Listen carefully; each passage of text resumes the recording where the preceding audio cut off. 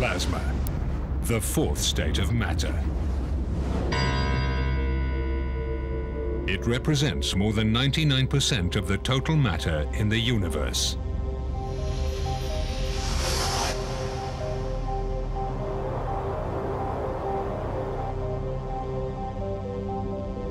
Thermonuclear fusion of light atoms is the energy process which powers the stars. In the core of the Sun, fusion of hydrogen nuclei occurs at 15 million degrees.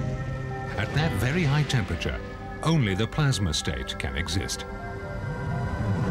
On Earth, physicists and engineers are involved in large experiments where very hot plasmas are produced in order to create artificial stars, which will be the source of unlimited energy used to drive a new type of electrical power plant, fusion power plants. When we enter the experimental plant site, we see large buildings which will receive different components of the fusion reactor.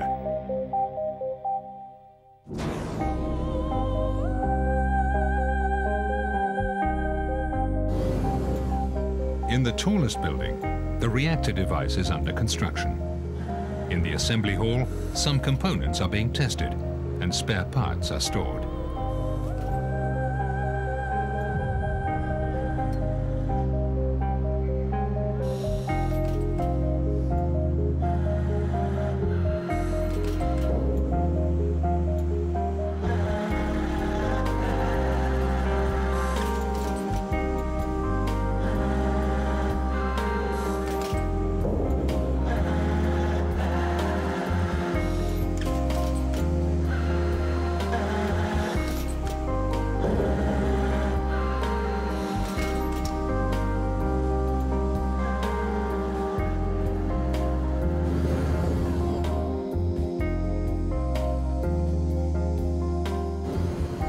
In the Sun, the hot plasma is confined by gravitational forces.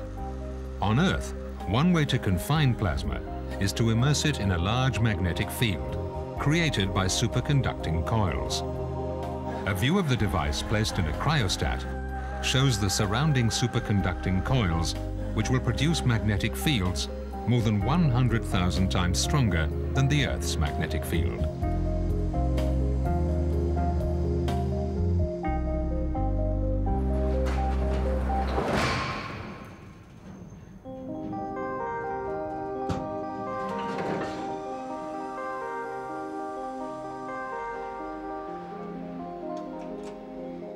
At different levels of the fusion energy plant, we find heat exchangers, plasma diagnostics, computer interfaces, power supplies, pumping systems, high-frequency sources and couplers, neutral beam injectors for plasma heating, remote handling tools, and other systems.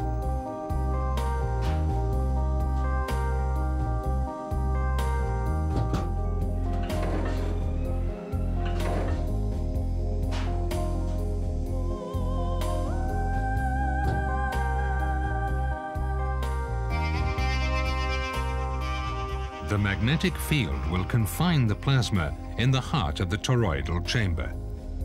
This contains components made of different materials which will be subjected to large amounts of heat and particles, such as the divertor in the lower part of the torus.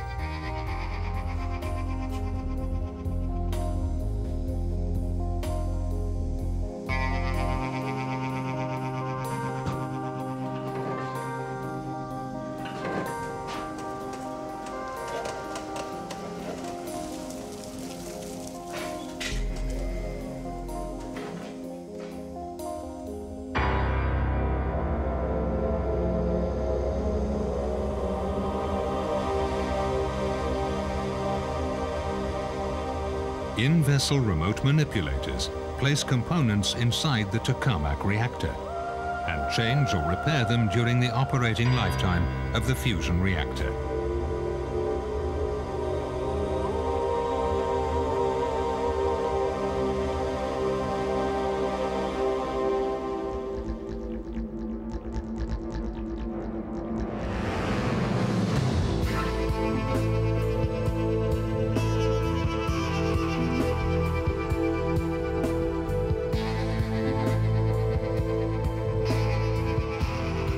Once the fusion plant becomes operational, the nerve center of the site is the control room, from where operators, scientists and engineers drive the device.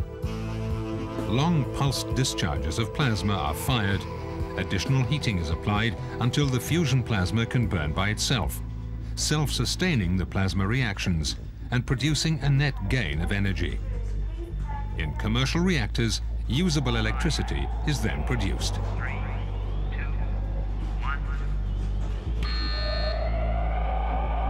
This is the adventure of the Star Makers, which is now taking place to develop a safe, clean and quasi-unlimited energy source for the future well-being of mankind. Fusion is one energy option for the future.